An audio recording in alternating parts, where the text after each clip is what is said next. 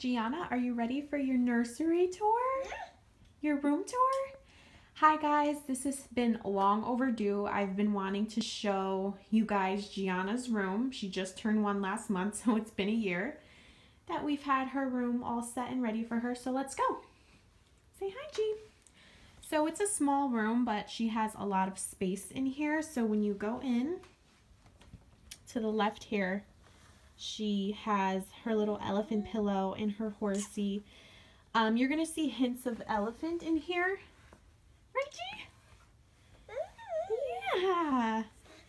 And then we have her crib as soon as you walk in. Actually, let me back up a little bit and kind of just walk in and show you how the whole room looks.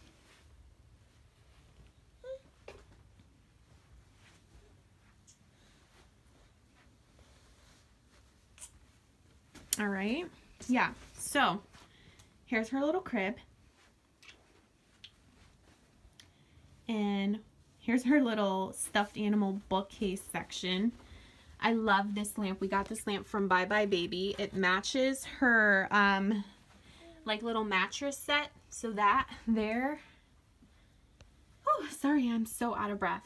I got this unicorn nightlight at Target so cute and she has this little music box that plays music. It just helps her go to sleep. Mm-hmm. um and yeah so we have her books here. We have baby mm-hmm. nathan. Mm-hmm. what here hold on to this okay?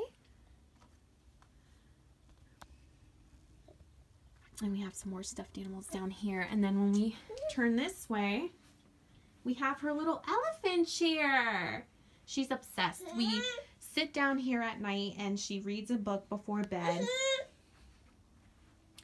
We have this blanket here with her name, Gianna Pompa. Um, my husband's workplace when she was born got this for her. It's a beautiful blanket. And they also got this music jewelry box with her name, Gianna Pompa, on it. It's so beautiful.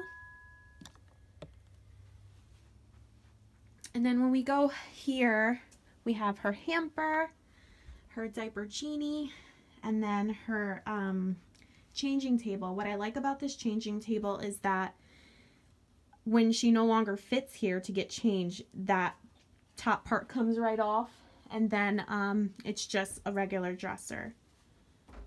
So in here we have like wipes, diapers usually, and all of her hair supplies because homegirl needs to have her hair supplies.